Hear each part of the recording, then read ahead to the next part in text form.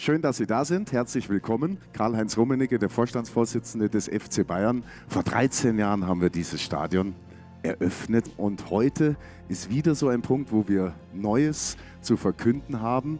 Etwas, was den Fan, glaube ich, sehr freuen wird, weil es sein Leben in Anführungszeichen im Stadion leichter machen wird.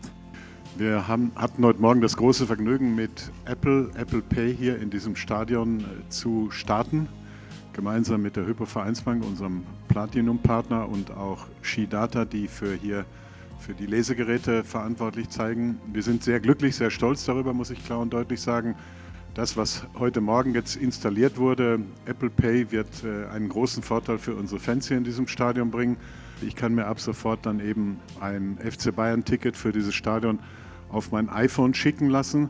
Apple Pay ist ein großer Schritt, glaube ich, in die Digitalisierung und wird für die Fans ein, ein großer Service sein, ähm, bei dem, wie gesagt, glaube ich, die Dinge vereinfacht und äh, am Ende des Tages auch sicherer gemacht werden. Insgesamt haben wir ca. 120 von diesen Drehsperren mit dieser neuen NFC-Technik. Es wird natürlich noch einmal den Zutritt erleichtern.